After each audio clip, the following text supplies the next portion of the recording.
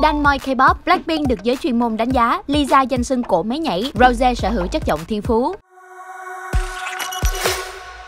Hành trình của Blackpink trên đường đua K-pop luôn nhận được nhiều sự quan tâm từ công chúng. Bên cạnh nhan sắc cực phẩm, bốn cô gái nhà YG còn được đánh giá cao về tài năng. Điều này được nhiều người trong giới giải trí công nhận càng khiến fan tự hào. Lisa là một trong những nữ thần tượng gốc Đông Nam Á thành công vang dội khi debut tại Hàn Quốc. Em gái Blackpink được khán giả ưu ái gọi với danh xưng cổ máy nhảy. Mỗi khi xuất hiện trên sân khấu, Lisa luôn thực hiện các động tác vũ đạo cực kỳ uyển chuyển. Theo đó, trong một cuộc trò chuyện với Ayo TV, hai vũ công chuyên nghiệp Sarah và Lee Bumin chọn Lisa là thần tượng có khả năng vũ đạo và ngoại hình đẹp nhất khi nhảy. Theo Sarah, cô ấy biết cách làm mình trông hấp dẫn và biểu cảm trên khuôn mặt cũng rất tuyệt. Trong khi đó, Lee Bomin khẳng định cách cô nàng vận dụng cơ thể để thể hiện lời bài hát giúp mỹ nhân Thái Lan tỏa sáng. Tỷ lệ cơ thể của cô ấy rất đẹp, Lisa ngoài sức tưởng tượng của tôi. Bomin nhận xét, không phải ngẫu nhiên Rose được YG chọn mặt gửi vàng khi đảm nhận vai trò giọng hát chính của nhóm. Từ khi ra mắt, cô nàng đã nhận được một loạt đánh giá tích cực từ giới chuyên môn về giọng hát. Theo đó, huấn luyện viên thanh nhạc Shin Yumin của Produce 101 chia sẻ, tôi đã làm huấn luyện viên cho Blackpink trong khoảng 5 đến 6 năm trước khi nhóm debut. Mỗi thành viên đều sở hữu cho mình một cá tính riêng, nhưng nếu xét về chất giọng thì đó phải là Rose. Em ấy sở hữu một chất giọng thiên phú. Trước khi debut cùng Blackpink, Rose từng có cơ hội góp giọng trong ca khúc Without You của G-Dragon Big Bang.